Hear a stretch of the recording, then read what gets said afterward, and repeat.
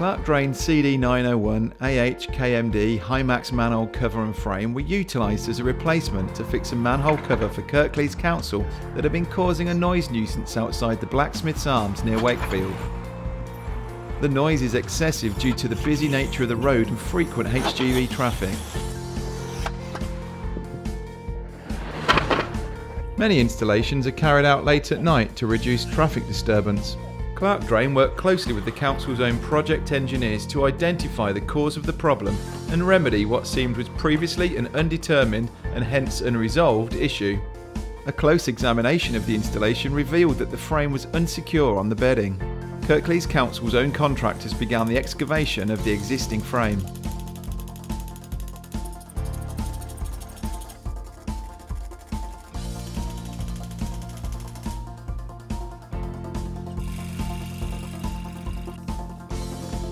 The top of the engineering bricks were found to be damaged, so had to be replaced to ensure a stable bedding for the new cover and frame. On closer examination, the chamber appears to be an odd size, roughly 750mm by 600, yet the clear opening on the existing manhole cover was 600 by 600. New engineering bricks were installed to replace those damaged.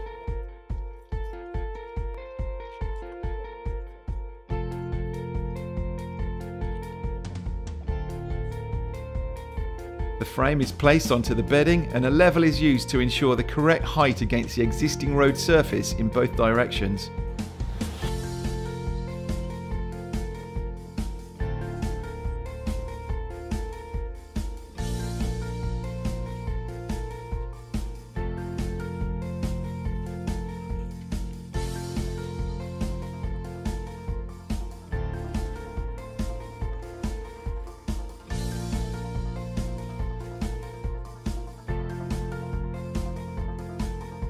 Visual confirmation is provided that any unwanted air pockets beneath the frame flange corners has been filled as mortar oozes through the vent holes, further promoting a secure bedding.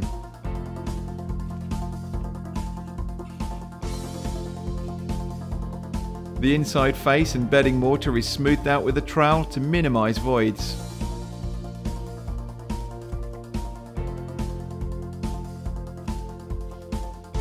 Flowable concrete is mixed and poured around the outside of the frame. The previous step to minimise voids on the inside of the frame also prevents the flowable concrete from leaking into the chamber.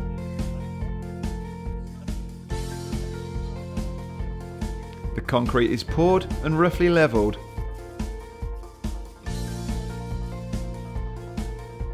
The seating faces on the inside of the frame are cleaned and any debris is removed. To aid manual handling, Clark Drain's long-handled lifting keys make it easy to lift the covers using the four keyhole design. The lids are inserted into the frame with the correct orientation.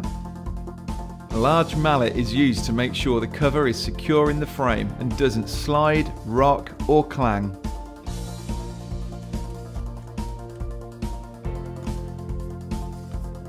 Cold lay tarmac is laid around the frame and then compacted with a vibrating plate